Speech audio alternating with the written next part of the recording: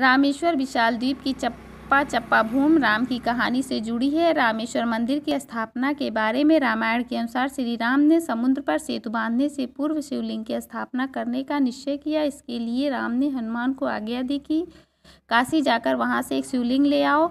हनुमान जी ने श्री राम को आश्वासन दिया कि स्थापना के मुहूर्त के समय से पहले मैं शिवलिंग लेकर आ जाऊँगा। स्थापना की नियत घड़ी निकट आ गई, पर हनुमान जी नहीं पहुँचे। ऐसी हालत में श्री राम ने रेत को मुट्ठी में बांधकर एक शिवलिंग बना लिया तथा समय टलता देखकर उसी की स्थापना कर दी। हनुमान जी ने पहुँचने पर देखा कि उनके आने से पहले ही किसी दूसरे लिंग की स्थापना कर दी गई है। क्रोध में आकर वह अपनी पूंछ को लपेट कर उस उक्त लिंग, शिवलिंग को उखाड़ने का प्रयत्न करने लगे, लेकिन नतीजा कुछ नहीं निकला। तब उनको श्री राम की लीला समझ आ गई और गुस्सा छोड़ श्री राम के चरणों में गिर पड़े। श्री राम ने हनुमान जी को उठाकर छाती से लगा लिया और बोले, मित्र तुमने बेकार में क्रोध किया, मैंने रामनाथ जी की प्रतिष्ठा कर दी तो क्या हुआ? लाओ तुम्हारे विश्वनाथ जी की भी स्थापना कर देते हैं। साथ ही उन्होंने आदेश दिया कि हनुमान द्वारा लाए गए विश्वनाथ जी की ही पूजा मुख्य रूप से होगी, दूसरे शिवलिंग की पूजा विशेष अवसरों पर होगी। श्री राम द्वारा स्थापित स्फटिक शिवलिंग छोटा है और ध्यान से देखने पर ही दिखाई देता है तथा हनुमान जी द्वारा लाया गया काले पत्थर का शिवलिंग विश्वनाथ कहलाता है तथा प्रमुख रूप से पूजा जाता है।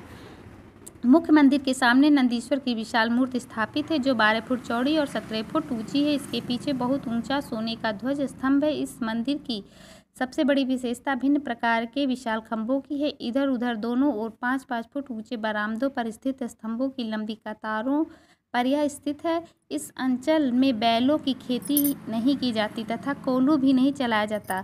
कारण यह कि नंदीश्वर भगवान शिव का वाहन है और उनकी नगरी में उससे हल चलाना या कोल्हों में जोतना अनुचित समझा जाता है।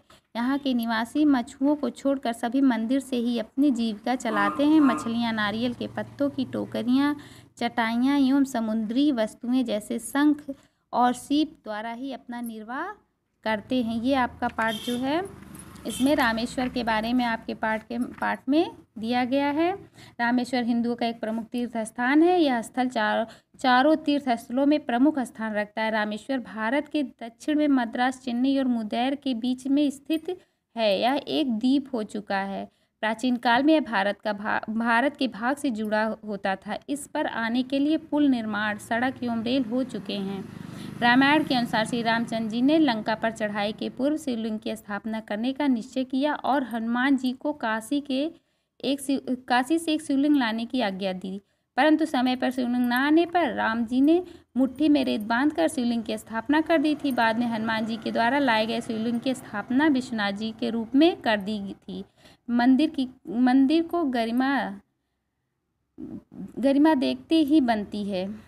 वहाँ का मंदिर बहुत सुंदर है, बहुत ही अच्छा है। मंदिर को पाँच फुट ऊँचे बरामदों पर स्थित स्तंभों की लंबी कतारों पर बना रखा है। यहाँ के निवासी मछुओं को छोड़कर उसी मंदिर से सबकी जीविका चलती है। अब आपका ये पाठ जो है, पूरा हुआ। धन्यवाद। Thank you